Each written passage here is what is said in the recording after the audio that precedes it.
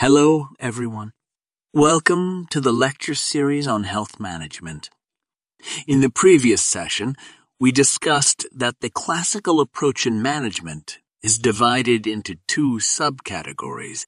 Number one, scientific management theories. And number two, general administrative theories. Another management theorist in this approach of general administrative theory is Max Weber. He was a German sociologist, philosopher, and political economist. He proposed the theory of bureaucratic management. He believed that bureaucracy is the most efficient and rational form of organizational structure for large-scale complex organizations.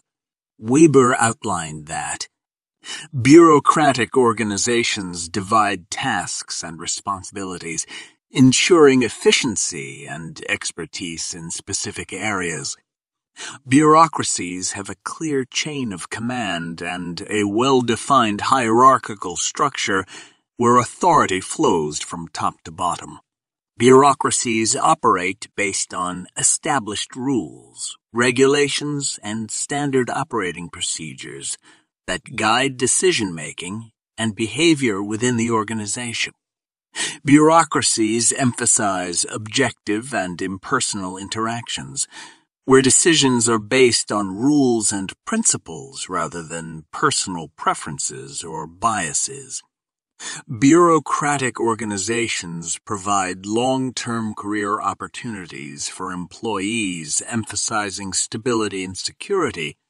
Bureaucracies use formal criteria and qualifications for selecting and promoting employees based on their skills, qualifications, and performance. Weber believed that when properly implemented, bureaucracy can provide several benefits such as efficiency, predictability, accountability, accountability, and fairness. However, he also recognized the potential drawbacks of bureaucracy, including the risk of excessive red tape inflexibility and the potential for alienation and dehumanization of employees.